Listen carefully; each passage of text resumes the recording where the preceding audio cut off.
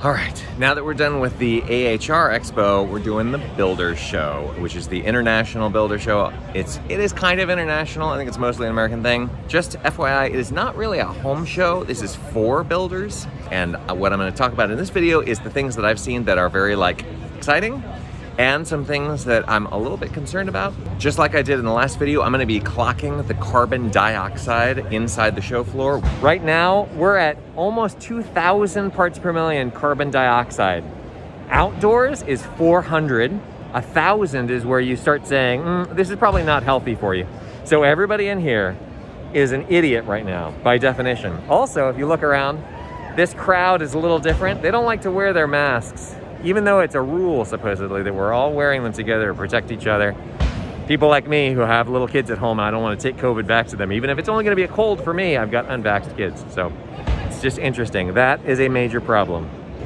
Broan-NuTone, again, where a lot of interesting stuff on the ventilation side is happening. I have two really exciting things that I'd like to show you. First of all, this is Travis Rash. He's gonna show us a damper that they've got, which it looks like a little bit like a damper that you might have seen before, but there's some new stuff on it. So show, show us this. It doesn't, it looks unassuming. So Corbett, what we have is our new Fin 6MD smart motorized damper. And really the objective of this product was smart, simple, and easy to install. And so we talk about the smart piece, this particular product has an integrated humidity and temperature sensor. What that means to the contractor, the homeowner, is we are measuring the outdoor humidity and temperature coming into the home, deciding through an algorithm, is it the best time to bring that air into the home?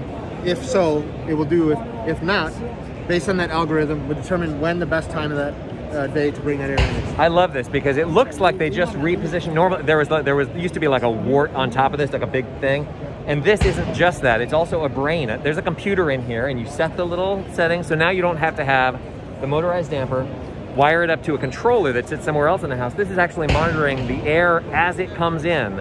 I want to show you a kitchen thing. Can we go over, go over to your kitchen hood area? Okay, so we all know that if you, you can design a house that's as beautiful and perfect and high performance as you want, but as soon as people move in, we have a problem. So we got kitchen exhaust hood, right, that's over your cooktop. It goes outside, so, so important. But if people don't use it every time they cook, then what good does it do? So here's the thing that they've actually come up with. Can I switch spaces in yep, here? absolutely. Okay, so Travis is gonna show us if you were to start cooking with a typical heat sensing exhaust hood right now, those exhaust uh, hoods only sense heat when it's dangerous, when like you're gonna melt the exhaust hood, then it'll kick on. It's only for protection of the equipment. It's not gonna kick on automatically, right? So this one has infrared sensor, uh, so it does monitor that cooking surface. So, so, this right here, is yep, that the infrared sensor? Correct, yep. So just like an infrared camera has, you know, 49,000 infrared thermometers inside of it, little beams, this one has one of those infrared thermometers and it's looking at the cooking surface. Yeah, so this is a quiet one, so you can't hear it, but it's it now it reacts based on the amount of heat, right? So if you if you have one burner going, I don't know how many BTUs this in, this is not more than 10,000 BTUs, right? You've got burners on your stove that are like 20,000, even 30,000 BTUs. And so if you click on what the, the big boys on high, this will notice that and it'll say, ooh, that's on, that's like a lot of heat, so I'm gonna ramp up, versus a little bit of heat just making a cup of tea. This is the kind of stuff that's gonna change the real conversation about ventilation. You may not know, but our third season of Home Diagnosis is all about disasters. It's called Accidents Happen. And so here we are with FEMA's building science division. And so uh, we've got John, we got Juan, we got Alicia, and we got Christina. Um, what are you guys excited about? That's like maybe a good thing. Well, I'm sure there's lots of things that are not great that we're going to talk about soon, but but good. Let's just stick with the hopeful stuff. Sure. I mean, it's been a great show, and what I'm really excited about is how many people have stopped by our booth, uh, interested in our new publication on creating a safe room in your home. Interesting. Um, a lot of home builders and uh, homeowners alike have come up and expressed interest in being safe during tornadoes and uh, how to do that. And so we have great guidance on how to build a safe room in your home. And I think it's great that people are interested. Nice. All right, good. Next one. I'm excited about people interested in building better to break the cycle. When the disaster storm, the storm comes in, let's build it better so it doesn't get damaged again. And they're literally asking you for that. Uh, I'm telling them about it. All right, good, yeah, all right. I'm excited that people are finally uh, gaining awareness that there's a national standard, not just your community standard. The community standard is the baseline. You should be building at or above code, and that's important and people are listening. Nice, awesome. And Christina. Um, my favorite part of this um, publication is the centerfold. The centerfold is this cool, and it actually is the plans for a safe room, and I'm really, really proud of this Oh, nice. document from FEMA and its actual construction plans. So that's what I'm excited about. Great. Awesome. Okay. Well, we'll have more coming from FEMA because I hope that they're going to be an important partner on season three. So uh, we will ha- you will see more from all of this team, and we will do more di- disaster preparedness. One of the huge topics that we're kicking off with on season three of Home Diagnosis is fire safety, and this is Bill. Bill knows a lot about fire safety because he's developed a couple of interesting products uh, around fire safety. So one that I learned about a couple years ago, and I actually have hoped would would work out for our season three, is this. Bill, will you please describe what it is that we're looking at here? This is the Vulcan vent. It's one of the first self-closing vents for fire safety. California cited that a lot of the fires were get started in your attic and with light fuels are up there. So they needed a vent that would stop flame and ember intrusion. So this vent covers both. You can see when it hits, fire hits it, it closes off. These cells fill up with an intumescent coating and it closes it off for fire. You can't see my hand behind it. Where here on this side, you can completely see my hand.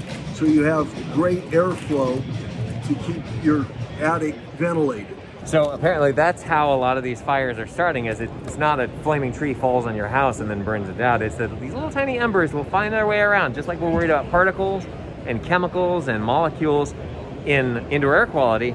That's the, it's the same deal in fire. It's like the small stuff makes a big difference.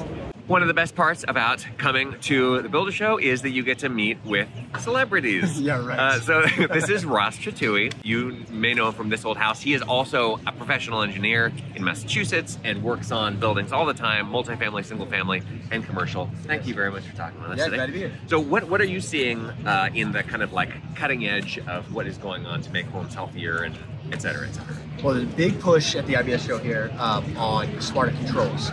So getting into demand control ventilation, right? So making sure that our ventilators, our ERVs, and our um, fans of the building are actually running when they should be running. And so those- Without people getting in the way and right. having to press a button. That's right. Take the manual controls off, you know, out of the out of the house and let it run automatically behind the scenes. So we're trying to see we're seeing a trend for autonomous buildings.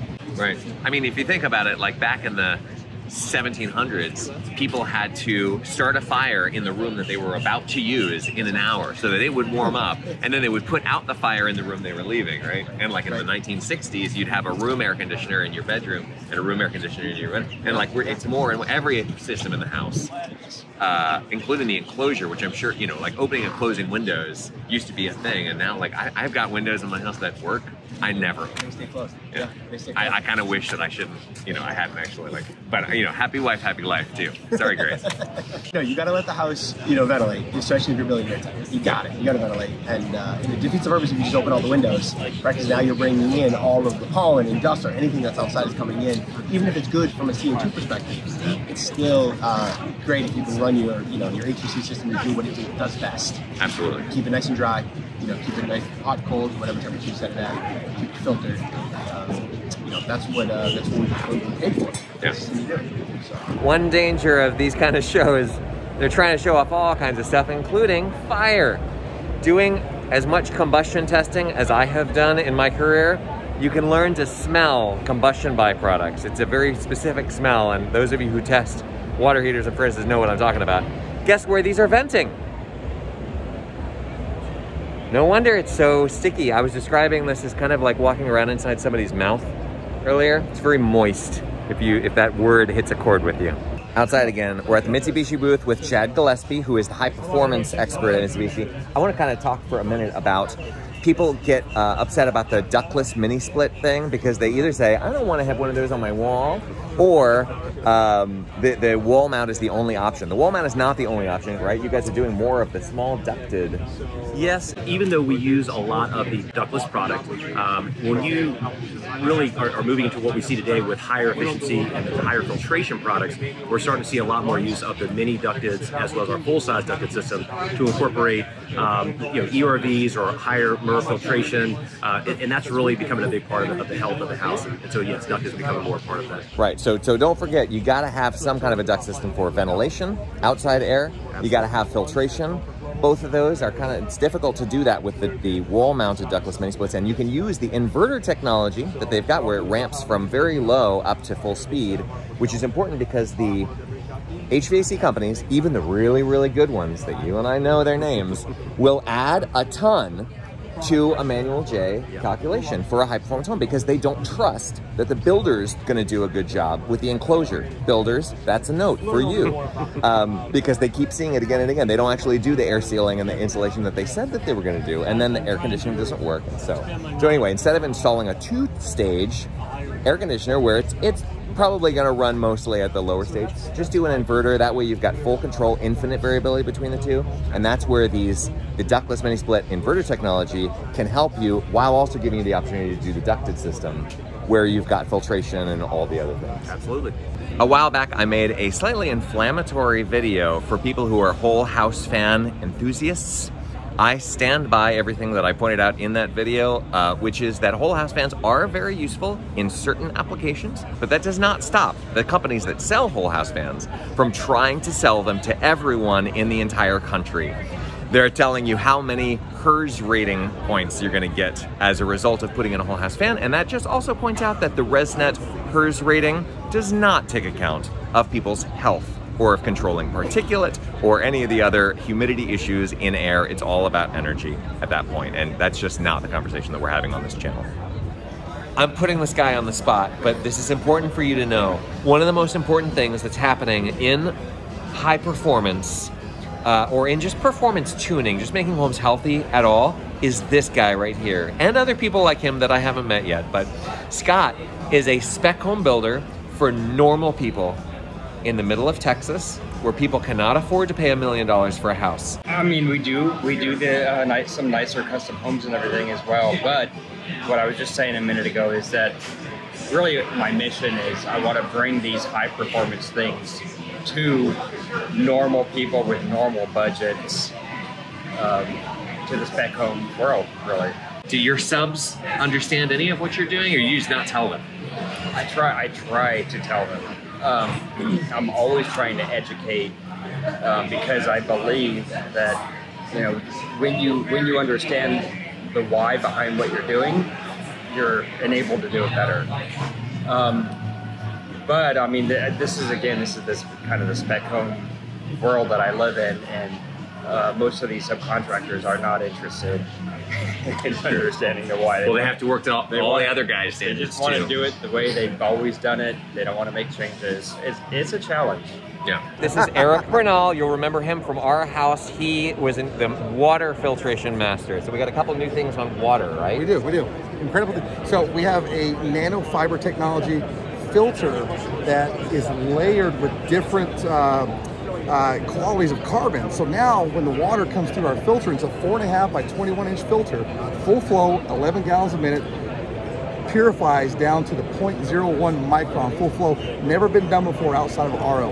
Nice. And my RO system is how many gallons a minute? Is that capable of? doing? Uh, maybe a gallon. One gallon a minute, maybe, which is why you have that three gallon tank Right. sitting there so that it, like you won't run out of it. But yeah, 11 gallons a minute is crazy. I don't ever run 11 gallons a minute in my house, so that, that's good. That's good capacity. Well, to be able to shower in that, cook with that, without the worry of a point of use. So now you have a point of entry that acts like a point of use. for the whole house. The whole Yeah. house. Laundry, And it's affordable. Less than a thousand bucks installed. less than a thousand. All right, cool. Well, we'll have more coming about that soon. So I gave my same presentation here at Aprilaire. Again, I'm going to op- uh, upload that as a separate video that I'm linking on screen right now. But yesterday, carbon dioxide was up around 2,000. Way too high um, for people to be making decisions that are maybe going to be ill-advised. So what's interesting here is that this is a Hobo. This is the MX1102. This is the Airthings uh, Wave Plus. When you uh, wave your hand in front of it, 1149, 1158. That tells you that this is a good number. double checking and having redundant readings is very important. Also, by the way, one thing that's interesting, this, radon, 15. That's really, really high. But again, with the redundant readings, test instruments can go bad. I would, I would be very um, cautious about telling you that test instruments are often wrong. I don't think that's true. I've actually disbelieved my test instruments plenty in the past, and it turns out that they're right and I'm wrong. But sometimes, if you take a radon monitor on a plane, which goes up in the atmosphere where the radiation levels are different, it'll freak this number out. And so this sensor is not actually reading what's real. We don't know what is real. It could be higher than this, I guess.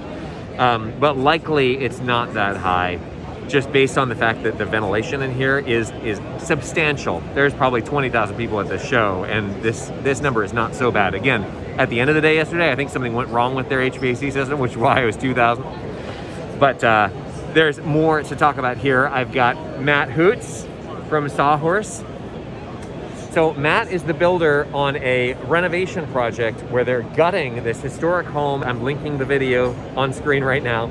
But Matt, what have you been seeing at the show that you think is really exciting for the kind of work that you're trying to do? Well, I mean, for years we've had amazing products out there that are on the market, like controlling, uh, ventilation, HVAC. And one thing that I've noticed this year, and I feel like we're like just just now starting to almost hit the apex, is, looking at monitoring and being able to control these systems. So we can have a monitoring system, we can have something that um, exhausts out, but now that they're actually talking to each other, um, we've had controls in the past for like you can look at temperature, humidity, but now we're looking at more than that. We're looking at lighting, we're looking at energy. So these systems are finally getting smarter and getting affordable. It used to be is like you have to have a whole server room dedicated just to like whatever you're going to use to control your house.